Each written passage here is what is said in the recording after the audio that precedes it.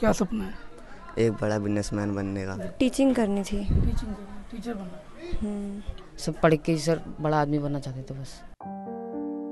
Corona महामारी और उसके बाद फैली बेरोजगारी का असर अब बच्चों की पढ़ाई पर भी दिखने लगा है।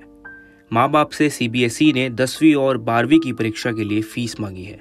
लाचार घर वालों को अब ये समझ में नहीं आ रहा है कि बेरोजगारी के दौर में वे फ़ीस कहाँ से जुटाएँ। न्यूज़ क्लिक संवाददाता रवि कौशल ने दिल्ली में मदनपुर खादर में रहने वाले बच्चों और उनके माता पिता से बात की। मैं पहले किराए पे रहती थी तो मेरा ज़्यादा तबीयत खराब हो गया इनका पापा का काम भी छूट गया। तो इस वजह से मकान मालिक घर में भी ताला मार दिया। तो हम दो महीने से इधर ही रह रहे हैं। और हमारे बच्चे को भी फ़ीस नहीं भर पाए थे तो हम तो हार ही चुके थे जो हम बच्चे को फ़ीस नहीं भर पाएँगे। मैं दो तीन दिन लड़का स्कूल नहीं गया तो रोने भी लग गए थे। ग्यारह साल से सर स्कूल पढ़ रही थी और लगा अभी छूट जाएगा। मैम ने जैसे बोला था। बोला कि मुझे स्टेशन टीसी निकाल लो अपनी। या तो फ़ीस भर दो। बस इतना ही बोला था मैम ने। यहाँ की परिस्थिति बहुत नाजुक है। लोग मजदूरी करते हैं, कोठियों में काम करती हैं और बेलदारी काम करते हैं। उनको क्या नाम से लॉकडाउन लगने की वजह से वो सारे घर पे बैठ गए। उनकी बच्चों की परिस्थिति, उनकी ज़िंदगी खराब होने लगी। क्योंकि स्कूल में टीचर यही कहती है, फ़ीस लाओ, फ़ीस नहीं लाओगे तो मैं नाम काट के टीसी हाथ में दे दूँगी। अब बच्चे बेचारे डर जाते हैं। कोई जाते भी हैं, कोई नहीं भी जाते हैं, डर के मारे। और किसी किसी की माओ ने तो कर्जा लिया, दस रुपया सैकड़ा, जो कि फ़ीस भर भी दी बेचारे लोगों ने। मगर हम लोगों ने तो नहीं भरा हमारा तो लेने का कहीं ज़रिया नहीं है। कहा कि आप कहीं से भी फ़ीस एडजस्ट करके हमें दो।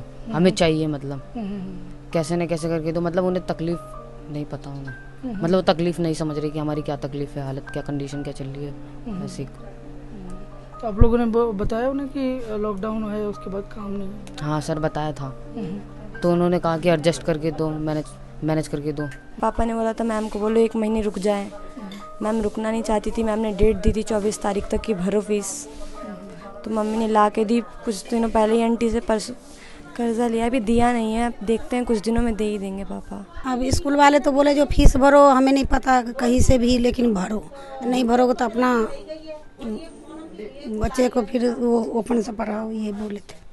हमारा भी बच्चा दसवीं में है मैं तो कैसे भी करके भर दिया लेकिन औरों को जो परेशानी है और बच्चे जो नहीं भर भर पा रहे वो वो बच्चे का तो भविष्य खराब हो गया ना। मेरी पढ़ाई छूट जाएगी सर घर की कंडीशन ख़राब हो जाएगी। मेरा भविष्य ख़राब हो जाएगा मेरा फ्यूच फ्यूचर मतलब खतरे में आ जाएगा सर ऐसे कुछ लगा। मेरा तो कहीं से नहीं हो पा रहे थे जो किसी से मदद भी लूँ तो कोई मना कर रहे थे किसी रिश्तेदार में भी मांगो वो भी मना कर रहे थे। फिर आगे डर लगता है आगे हम कहाँ से कर पाएँगे? क्योंकि हमारे तो कुछ है नहीं आगे पीछे। मैडम डांटती है वो कहती है मैं नाम काट दूँगी तो बच्चे डर के मारे जो है जाते नहीं है। अब जब नाम ही काट देंगे तो बच्चे क्या पढ़ेंगे? तो उनकी पढ़ाई छूट सकती है सर। अब बहुतों के घर में देखिए ऑनलाइन पढ़ाई हो रही। मोबाइल नहीं है। खाने को नहीं है तो मोबाइल कहाँ से आएगा? तो इस वजह से बच्चों के ऊपर थोड़ा ज़ोर दिया जाए देखा जाए उनका भविष्य सुधारा जाए। मेरी तरफ़ से तो यही रिक्वेस्ट है। देखिए हम सब लोग जानते हैं कि जो गवर्नमेंट स्कूल में बच्चे जाते हैं वो सारे ही जो कमज़ोर वर्ग से होते हैं, वो जाते हैं। और जिसके पास भी पैसा होता है, वो अपने बच्चों को प्राइवेट स्कूल्स में भेजता है। और इसमें हम देखेंगे कि schedule caste, schedule tribe, OBC और जो बहुत ही अति गरीब है, उनके बच्चे पढ़ते हैं यहाँ पे। दूसरी बात यह है कि गवर्नमेंट स्कूल में जो एजुकेशन है, वो टोटली फ्री होती है। और जब एजुकेशन फ्री है तो उसका क्या मतलब है? उसका मतलब ये है कि जो एग्ज़ाम का खर्चा, रजिस्ट्रेशन का खर्चा, अगर उनको पेपर देना है तो पेपर वगैरह, राइटिंग मटेरियल, ये सारा कुछ राइट टू एजुकेशन में आता है। तो इस अगर, इस एंगल से हम देखें तो जो स्कूल की सीबीएसई की जो फ़ीस है एग्जामिनेशन फ़ीस है या रजिस्ट्रेशन फ़ीस है, वो मुक्त होनी चाहिए। 2019-20 के अंदर मैं समझता हूँ क्योंकि इलेक्शन थे असेंबली के, दिल्ली के।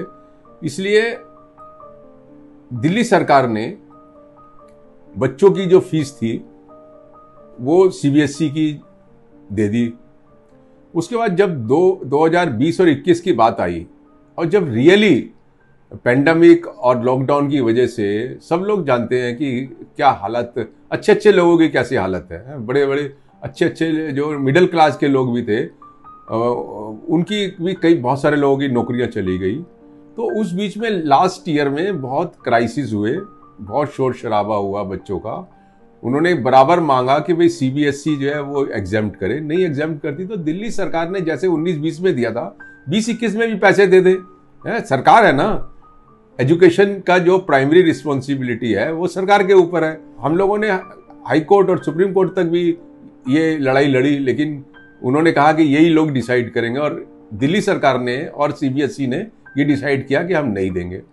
अब सवाल ये है कि 2020-21 में दिल्ली सरकार ने कोर्ट में ये कहा कि हमारा रेवेन्यू कम हो गया। इसलिए हम जो है ना, ये पैसा दे नहीं सकते और ये उन्होंने कहा था कि 106 करोड़ के करीब पड़ता है एग्जामिनेशन फ़ीस जहाँ तक रेवेन्यू की बात है, अभी कई हज़ार रुपया तो इनको करोड़ जो एक्साइज था ये शराबों की दुकान जो इन्होंने बिड्स करी है, उसमें खुद ये कह रहे हैं कि हमारे पास एक हज़ार करोड़ से भी ज़्यादा जो है एक्स्ट्रा आ गया है। जीएसटी भी इनके पास ज़्यादा आ गई है, दूसरे जगहों से भी इनके पास पैसा आया। दूसरा ये कि इनके बहुत सारे खर्चे, क्योंकि स्कूल बंद रहे तो बहुत सारे खर्चे भी इनके पास नहीं है वो पैसे भी इनके, टीचर की ट्रेनिंग के पैसे बच गए इनके पास। तो पैसे की कमी नहीं है, लेकिन मुझे लगता है कि जो इच्छा शक्ति है या इस वक्त क्योंकि इलेक्शन नहीं है, उन्नीस बीस में इलेक्शन थे तो इसलिए वो सरकार जो है, दिल्ली सरकार, उस पर खर्च नहीं करना चाहती। तो मुझे लगता है ये बहुत ही गलत है, और इससे ये लगता है कि बहुत सारे बच्चे, हो सकता है कि उनकी शिक्षा से वो वंचित हो जाए। और एक चीज़ और बताना चाहता हूँ कि इसमें अधिकतर जो है ना, वो लड़कियाँ हैं। दिल्ली के गवर्नमेंट स्कूल में लड़कियाँ ज़्यादा हैं, लड़के कम हैं। तो जब हम लड़कियों की बात करते हैं कि भाई ये बढ़ेंगी तो देश बढ़ेगा तो इनकी समझ क्या है सरकार की?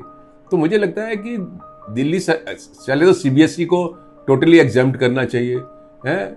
अभी उन्होंने कोविड के, जो कोविड में जिनके पेरेंट्स की डेथ हुई है, उसमें एग्ज़ाम किया। तो क्या कहते हैं वो कि जिसका मतलब पिताजी की डेथ हो जाएगी, उसी को देंगे क्या? जो पिताजी ज़िंदा उसके नहीं देंगे क्या? ये क्या फिलॉसफी है? सभी को देना चाहिए। दूसरी बात यह कि अगर सीबीएसई नहीं काबू में आ रही तो दिल्ली सरकार के बाद तो पैसे की कोई दिक्कत नहीं, और कितना प्रोपोगंडा करते हैं। करोड़ों रुपया एडवर्टाइजमेंट्स के ऊपर खर्च करते जो अननेसेसरी है टोटल है? तो मुझे लगता है कि दिल्ली सरकार को सब बच्चों को देना चाहिए, एक बहुत बड़ी राहत है, और उनके राइट टू एजुकेशन जो फंडामेंटल राइट है, उसका हिस्सा भी है।